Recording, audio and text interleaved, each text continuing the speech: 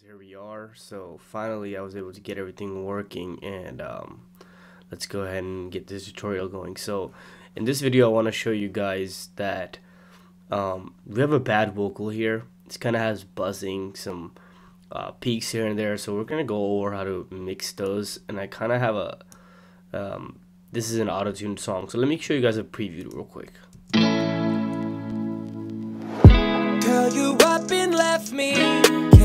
come back to me now? Now, now. So this is an artist, Mike Rose. This song's actually on um, iTunes and Apple Music. If you guys want to go check it out. So we have this vocal here. This is a raw vocal, and here how, how it sounds playing. Check out, listen out for the buzzing that's in there. Girl, you up and left me. Can you come back to me now? Now, now. As you can see, there's a lot of uh, buzzing going on, feedback from the headphones. So I'm gonna see if I can mix this into the beat. So first thing we want to do is, excuse me. So first thing we want to do is actually clean up the auto tune. So something I learned, a, a cool technique, is you want to put a, a low pass filter on it um, before the auto tune and definitely want to have your de-esser before the auto tune. It just helps the auto tune, you know, get that get the solid vocal that it needs instead of being thrown off by random frequencies. So I'm gonna go ahead and throw on a de-esser by uh, Slate Digital. This is called uh, Eiosis E de-esser. I really like this de-esser, especially the the fact that it's so like accurate and I'm able to quickly narrow down pinpoint the vocal. So let's hear this solo here. Girl, you up and left me. Can you come back to me now? Now, now. When I'm not around you, I cannot stay off the ground, ground, ground. So let's hear uh, before and after. So here it is bypassed. Girl, you up and left me. Can you come back to me now? So listen for that two right there. Girl, you up and left me. Can you come back to me now? See how much smoother that is. It's a little bit too overpowering, so I'm gonna turn down the dryness just a little bit, but like it makes a huge difference. This de-esser is super powerful. So I have my de-esser there, and let me throw on an EQ. I'm just gonna head go ahead and get Waves our REQ6, and uh, I actually dropped a little video on the cheap plugins that are waves are running for. I believe they're four hundred dollars for a diamond bundle. So go grab you one, yourself one. This is a really good deal. So here's the EQ. I'm gonna give it like a little open curve. Here we go. Girl, you up and left me. Can you come back to me now? Now, now. So I I dropped them up until like 50 50 uh, are sorts of frequencies because as you can see there's this that's where the buzzing was. So if dropping that low end is gonna help me take out that buzzing as well.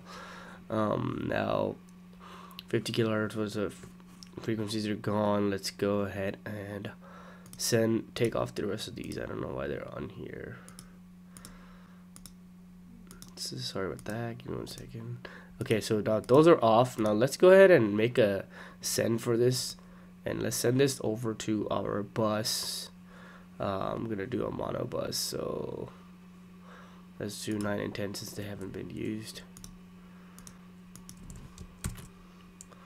So I'm gonna make an, a mono auxiliary track for which is gonna be the bus for my audio. It came right here. I'm gonna call this vocal mix so let's go ahead and grab that. Bus 9 and 8. So it should be coming right in here. Girl, you up and left me. Can you come back to me now?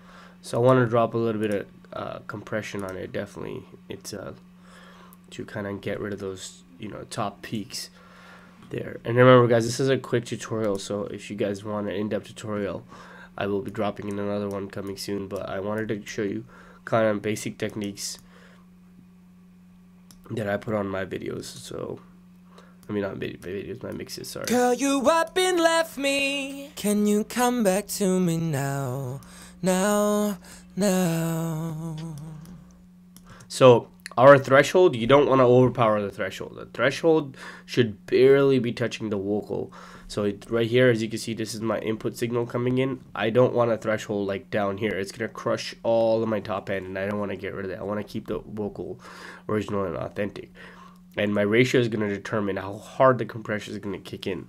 So I'm going to only chop off the top end. Like Girl, you up and left me. Can you come back to me now? Now, now.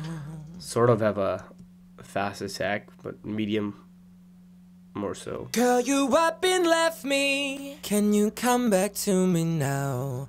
Now, now.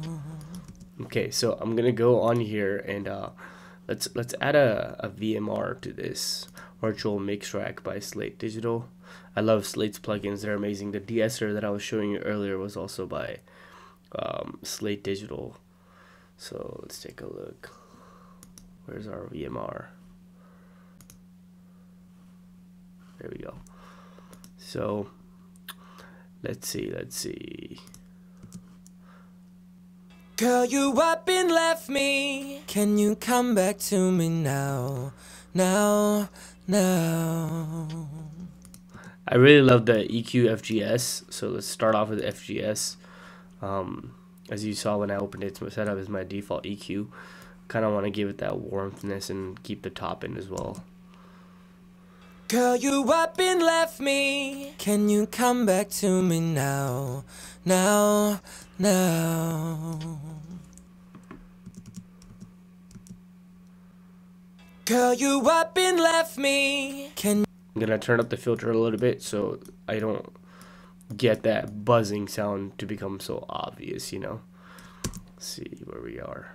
Girl, you up and left me. Can you come back to me now? Now, now.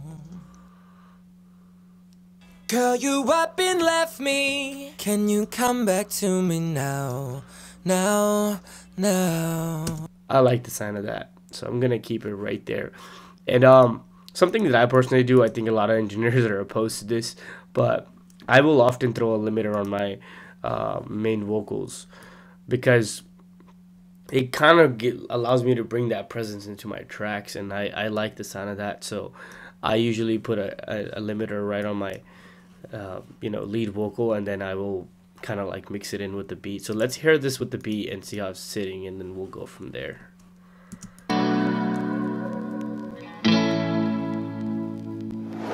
Girl, you up and left me.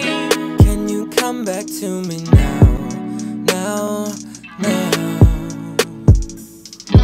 When I'm not around you I cannot stay off the ground Oops, Pro Tools going crazy here. Sometimes when you're capturing the screen with Pro Tools, you get some errors. Girl, you up and left. So I like the sound of that, actually. I really like the sound of that. So let's just throw in some quick reverbs and kind of give you the idea where I'm going with this song. So I have my reverbs on my bus 1 and 2, so I'm going to create a bus, turn on my reverb bus. Excuse me. And um, go down here. I already had this in the mix, so I kind of have my reverb settings that I'll open them so you guys can see how I have it set. Girl, you up and left me. Can you come back to me? Now, now. When I'm not around you, I cannot stay off the ground, ground, ground. Can't you see that I'm the guy? Love you till the day of night, girl. Wow, it sounds really good to me. And then um, let me just go ahead and drop in a, a little bit of delay on that as well.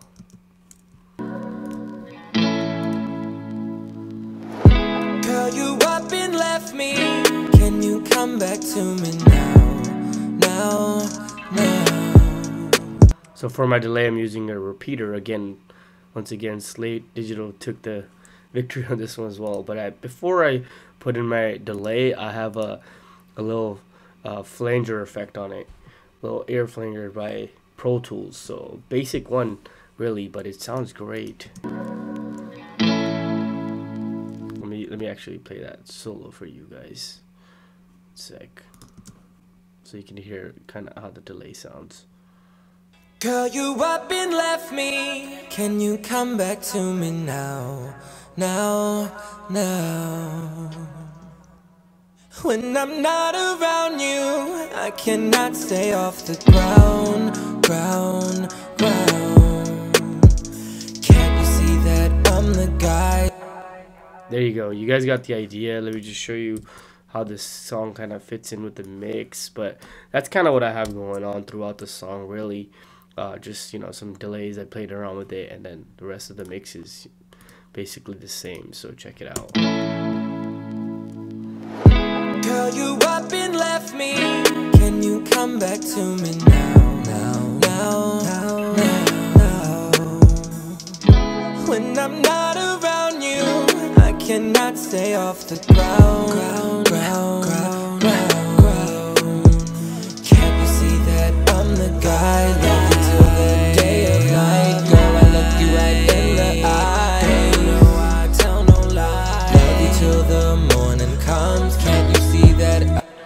you guys got the idea. So basically, this is how the mix is sitting in. If you guys want to hear the full song, it is available on Apple Music, so go check it out. Shout out to my guy, my Mike Rose, for allowing me to put this up as a tutorial. Um, so guys, yeah, let me know if you have any questions. Drop some comments. Always like, comment, subscribe. There's a lot more tutorials coming. This was just a quick one. I know I went really fast, but kind of wanted to give you guys some quick tips on what I do. But yeah, remember that technique about the de-esser and the low pass filter on the auto tune for sure. Okay. Um, all right, guys, be safe. Good luck.